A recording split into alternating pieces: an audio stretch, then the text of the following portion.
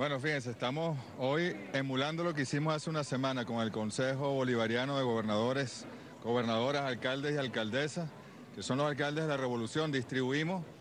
eh, por temas de gobierno de calle, por ejemplo, el tema de la salud, el tema del plan de aguas, el tema de la vialidad, el tema de la criminalidad, de la paz, y bueno, y muchos otros temas, el Consejo Federal de Gobierno, la banca pública, el tema de las finanzas, los presupuestos, cómo ejecutarlos,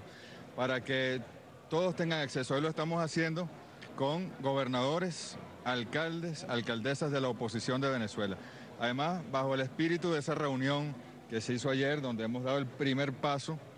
sólido, bueno, no es el primer paso, no es, no es cierto, porque el presidente Maduro llamó al diálogo desde el primer día, como lo hizo el comandante Hugo Chávez durante muchos años. De hecho, después de las elecciones municipales, el presidente Maduro llamó a estos alcaldes y gobernadores a Palacio el 18 de diciembre y ahí estuvimos reunidos largamente. Luego se comenzó bueno, todo un trabajo por la seguridad donde el ministro, el mayor general Rodríguez Torres, estuvo con todos los alcaldes, con todos los gobernadores de este país, con todas las fuerzas vivas, policías, Fuerza Armada, instituciones vinculadas con la seguridad y de ahí surge el plan de paz.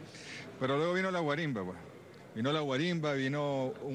el, atajo que un sector de la oposición, un sector no democrático de la oposición estuvo procurando. Afortunadamente ha sido derrotado y ayer se dio una muestra importante de que han sido derrotados por todos los sectores, no solo por la revolución, el gobierno del presidente Nicolás Maduro con firmeza, por nuestras instituciones, sino también por los factores democráticos de la oposición venezolana que ayer dijeron claramente que rechazaron